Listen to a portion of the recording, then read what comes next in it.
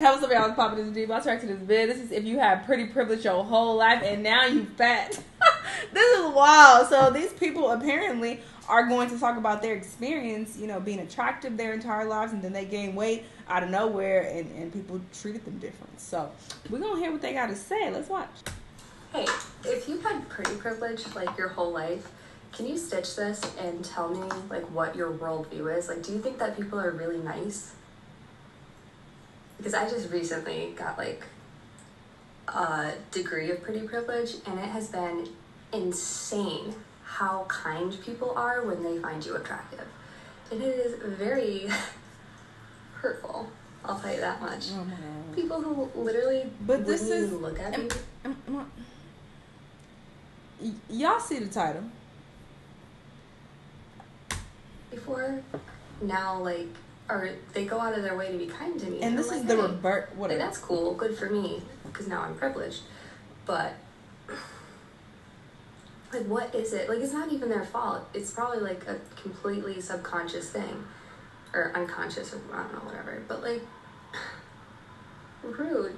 Oh my god, if you've had girl. privilege like your whole life can you stitch this? And Yes, girl, let's talk about it because it needs to be talked about. Okay, so let me get my credentials out of the way really quickly. A few years ago, I looked like this.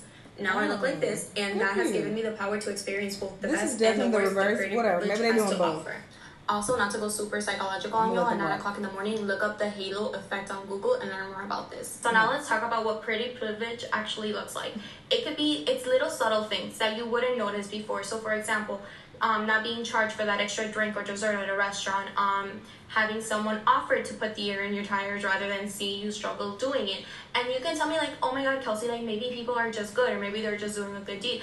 And I'm okay, I'm with you, they're doing a good deed, but why didn't they do a good deed when I was 257 pounds, huh? why did all of a sudden all these good deeds start happening to me this, the moment I look like this? Because I went from like one good deed happening to me to a year to 10 of them happening to me in a week. That's not a coincidence, I'm sorry. Valid. if you've had pretty privilege like your whole life can you stitch this and Okay, but yes. So Okay, I work in the was actually service industry, right? I'm a bartender. And if you were Well, unaware, That's the way you look influences it a lot. Whether that's not trying to tips or how people treat you, it just does. And when I tell you that my whole life changed. My bad. I'm not. when trying I to started getting help for my eating disorder, which resulted in weight gain after the pandemic. Mm-hmm. I really didn't expect this to make me cry, but Mm. people don't even look you in the eye anymore. They're not nice to you, especially men. Like, I would walk up and say, Hey, how's it going? You know, how are you? And I used to get, I'm doing really great, honey. How are you? Now it's a little more like, Hey, how's it going? What can I? Two Coors Lights and a Bud Light. And for people saying that that doesn't actually happen, please raise your hand if you would willingly like to live as a fat person. And the fact that no one raises their hand makes the point. And it just makes you feel hopeless. Like, am I ever going to be worth more than my looks? if you've had pretty privilege Yeah. like your whole life can you stitch this I am way too fucking sensitive to be contributing to this. My hand is literally shaking, but I'm gonna try. I am also very aware that by fitting into the beauty standard and by being white, that I am a very privileged person. So none of this is to insinuate that my experience has been harder than other people's. Obviously, fucking not. This is just some of what my experience has been living in this particular meat I'm sack. All my life, that. almost every single time that I was acknowledged for something that wasn't my physical appearance, it was prefaced by the word actually.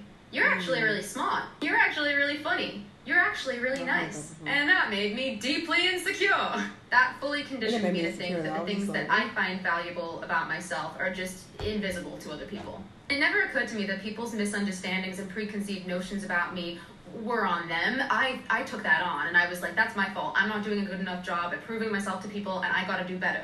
And funnily enough, the desperate need to feel seen and understood um, makes you very easily manipulated by the old men that are preying on you. you've had Oh, that's a privilege like your whole life can you stitch this Yeah, girl, let's talk about it. So, it's 100% true that pretty privilege does exist. And yes, it is absolutely rude how when people find you attractive, they're generally just This nice filter to you for that reason and that reason only. Until you are a woman in a power position who steps into a male dominated industry.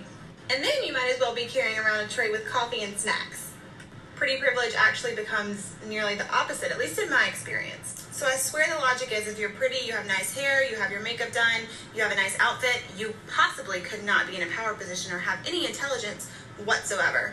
So for me personally, I work in construction management on multi-million dollar jobs, and I can't tell you how fun it is to have my emails ignored and people literally talk to my male coworker and just act like I am there to serve them. So yes, while pretty privilege is a thing, it can be switched in the opposite direction. All right, girl. I mean, what she's saying is valid, but it's like they talking about pretty privilege. First off, they all over the place with this goddamn comp so far anyway. But she up here like, well, let me tell you about how pretty privilege is like not a good thing, and it's in the opposite direction for me. And me being pretty is actually not a good thing for the job that I work in. They actually look down on me because I'm so pretty. It's just like, girl. And she's so satisfied with herself. Privilege like your whole life. Can you stitch this? Child. Someone said it. Before anyone comes to me, I'm not calling myself pretty, but I used to be like a really ugly kid. Like laughing stock of the school, ugly. But Show also us. I was a boy, ugly. And people used to look at me. Because people be capping when it comes to this too. Just because they want, I guess, uh, validation or they want likes or whatever, they be online like, oh, I was so ugly in middle school back then. They didn't want me. Now I'm hot y'all all on me.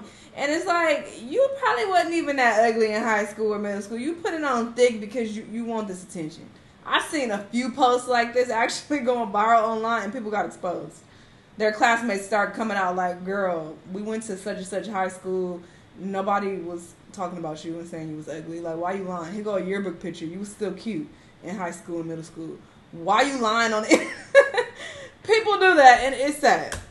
The way that you Hopefully look she's at not someone doing who that. has food stuck in their teeth and talk to me like I was disabled. Kind of grew into my features and that whole attitude changed. Anyone who grew up the ugly kid knows exactly what I'm talking about. Weird, but it's true.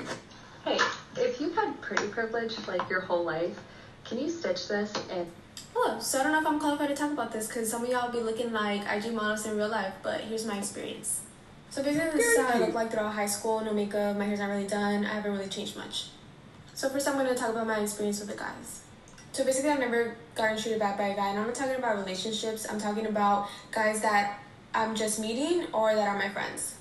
Hearing stories about these unconventionally attractive girls, um, talking about how guys disrespect them and look over them. I it was mind blowing to hear because I've never had that experience ever. Guys are usually nice to me, um, and I would say 99% of my guy friends have either found me attractive or wanted to date me. I usually get guys to do whatever I want if it's reasonable. Like if I need them to do this or that or give me money or whatever, like they'll do it. money. And now recently that I've started wearing makeup and you know posting on IG, I've had even more attention from guys that would overlook me in high school. Now they want. me. Alright, hey, if you've had pretty privilege like your whole I life, feel like she was. Just... Okay, part two with how Oh, girls you treat back. me. So I don't want to say it's the main reason, but it's one of the reasons why I had a lot of guy friends growing up. Um, because I look the way I look, guys treated me nicely Okay, and girl. girls. I've had many instances where girls that were jealous of me and thought that I wanted to take their boyfriends when honestly it was the other way around. Usually it would be the guys that liked me and I didn't like them back. Um, maybe this is more of a me thing, but I've always felt like I've had to dim my light when I'm around other girls. Because what happens when I don't dim my light is that guys will try to get my attention and they'll completely overlook my friends. Uh, so now it's a different situation. I am friends with girls that um, uplift me, and I can't have guy friends because I just know that it's not a platonic friendship. They're always they always have an agenda. And on the other side of the spectrum, I also have girls that look to me almost as a leader because of how I look. Uh, li- if you've had pretty privilege like your whole life, can you stitch this? First of all, not all men are the way I'm about to describe. In my 10 years of service, I have made some true friends, but they are rare, they're hard to find, and they're not always around. I benefit from pretty privilege in my line of work. I hmm. notice it. People often use a friendlier tone of voice with me than they do with other people, but they don't want to be friends with me. Hmm, the faithful married ones don't want to spend time around me at all. The shady married ones want to spend too much time around me. The single ones sometimes become my friends, but they usually stop spending time with me once they get a girlfriend. And some men pretend to be my friend, but once I turn down their sexual advances, at the worst of times, this happens. oh. I have pretty oh. privilege, 100%.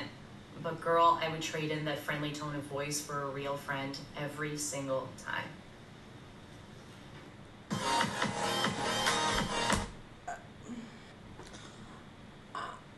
Trying to understand how that how that situation went down. Like, so a nigga was trying to fuck with you and you was like, nah, I'm good, and he just started taking off on you, like, I, I just, I'm not saying that she lying at all because there are some crazy people out there, but uh, yeah, that's, I'm gonna leave that alone. Uh, some of these women were annoying. Jesus, uh, only one girl stuck to the fucking topic at hand. The title says, "If you had pretty privilege your whole life and now." well, it said, and now it's fat. but I was like, okay, and now you're fat. That, that's what I thought this compilation was going to consist of. But it, it was a lot of chicks on here just kind of patting themselves on the back, to be honest. Especially that girl with the glasses. Oh my God. Anyway, sticking to the topic though, I've been fat many times in my life. so I can uh, low key attest to this. Um, I definitely noticed a difference in male attention. When I was on the heavier side, I definitely got a lot less male attention versus when I was on the slimmer side. Um, yeah, because my weight has fluctuated quite a bit in my life. Uh, now I'm very proud of myself though because I've been very consistent with my fitness. So I'm trying to you know stay around this size and not you know balloon back up to nearly 200 pounds like I have before. But um, yeah, it is a thing. It's it's very uh, real that uh, people treat you differently when you are overweight versus when you're on the slimmer side it is a thing.